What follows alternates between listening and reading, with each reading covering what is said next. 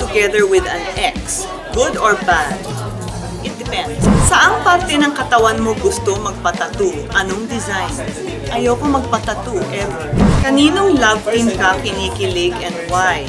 Wala akong kinakikiligan na love.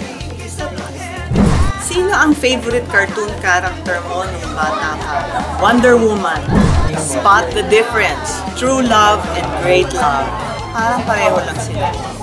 True love, great love. True love yung true. When it's true, it's great.